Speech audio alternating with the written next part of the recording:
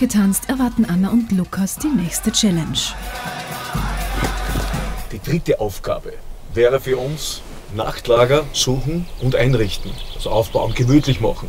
Beachtet vor allem Gefahren in der Nacht. Das ist entscheidend. Aha. Das Ja. ist die dritte Aufgabe. Ach so. Ja. Gut, das- soweit? ja, sind wir. bereit dazu? Auch, Anna. Wunderbar. Bist du auch soweit? Ja, ja. Super. Ja, nicht so recht, oder Anna? Was? Muss dir heute helfen, Lukas. Selbstverständlich. Und wenn du dir Lederhemd ausziehen musst, verstehst du? Nein, das gebe ich ja nicht. Ah, gibt's dir mal? Okay, gut. Wohin? Mich fragst du? Nein, im Baum. Ich, der alte, erfahrene Actioncamper, würde dir sagen, dass du nicht auf offener Wiese liegen solltest. Anna und Lukas, nicht vergessen! Was ich euch gesagt habe, so wie man sich bettet. Ich höre in der Ferne eine Stimme und die sagt mir, wir hätten uns ein Hotel nehmen sollen. Ja, so habe ich das verstanden. Ich würde vorschlagen, dass wir uns hierher legen. Weit weg vom Feuer, dass wenn es ausbricht, dass es nicht wir waren. Na, da ist gut, da ist gut. Also, Hä? da. Ja, aber die Wiese ist ja ganz nass. Sind wir im Urwald oder daheim am Sofa? Die Wiese ist so nice. Die Zecken stechen. Ich hätte jetzt gleich mit Safety gelben Sack auspacken als Unterlage, damit es nicht zu nass ist für dich.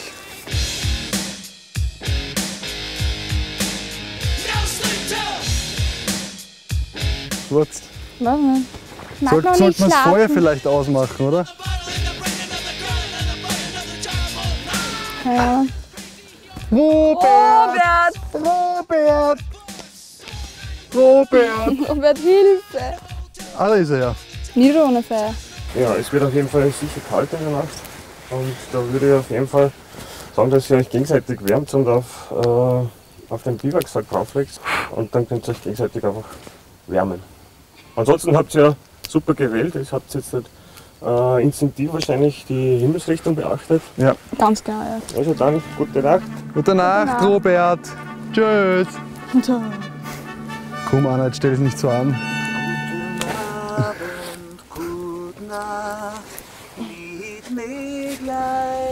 Dürfen wir nicht reinschlupfen, oder? Versteck das Sollen wir jetzt rein. einschlupfen? Du kannst auch stehen in die Nacht. So. Wir könnten noch so Sackhüpfen machen. Müde werden.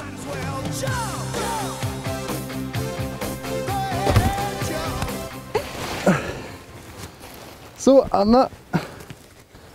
Ah, das glaubst du gar nicht. Gute Nacht. Wir sehen uns morgen dann wieder. Alles Gute. Ihr seid ganz alleine. Ganz alleine. Gute Nacht. Gute Nacht.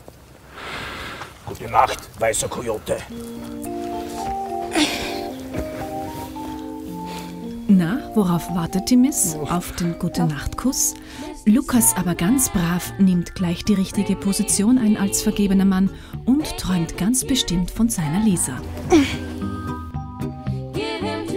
Voll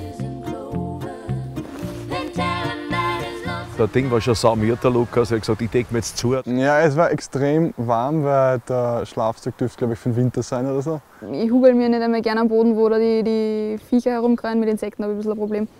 Ähm, und dann noch da hinlegen und die ganze Nacht da verbringen. Also es, das ist ein bisschen unangenehm gewesen, finde ich. Die hat da ein bisschen Probleme gehabt mit dem Zudecken und überhaupt damit Ding. Und die Nähe vom Lukas natürlich auch, weil sie war ja das dann doch nicht so gewohnt und, und keiner tut es auch noch nicht so aus dem Vorleben. Und dass man jetzt in einem Schlafsack neben einem anderen Schlafsack vielleicht in einem halben Meter Entfernung liegt, ist für mich auch kein Problem oder so.